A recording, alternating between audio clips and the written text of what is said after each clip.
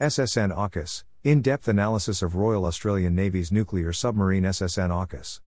The Australian government has selected BAE Systems and Australian Submarine Corporation to build its new fleet of nuclear powered submarines.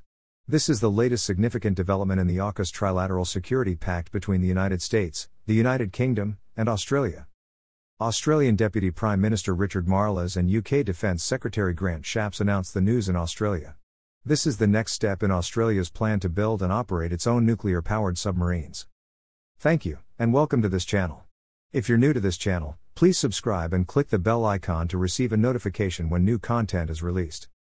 SSN AUKUS Nuclear Submarine with a displacement of 10,200 tons and a complement of 135 crews, SSN AUKUS will be the largest, most powerful, and most advanced attack submarine the Royal Australian Navy and Royal Navy have ever operated.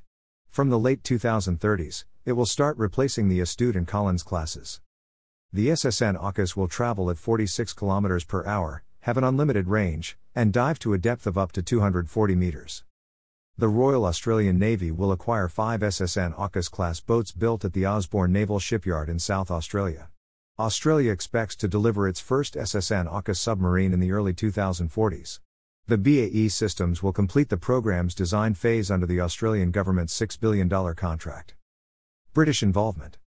The SSN AUKUS class will be powered by a Rolls Royce pressurised water reactor manufactured at an expanded Rolls Royce Raynesway site in Derby, UK.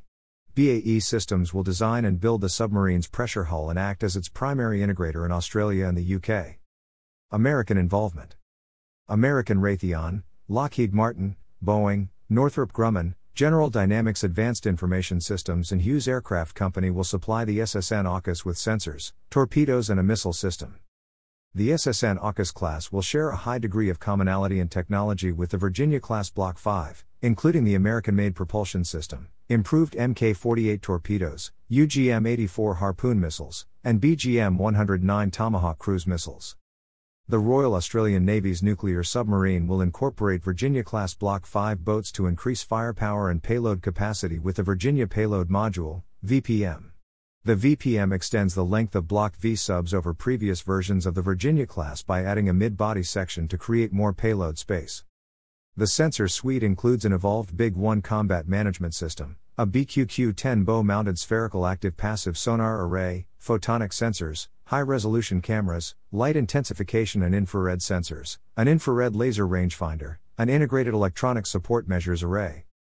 Two redundant sets of these sensors are mounted on two BVS 1 photonics masts outside the pressure hull. The mast sensors transmit signals to the control center through optical fiber data lines and signal processors.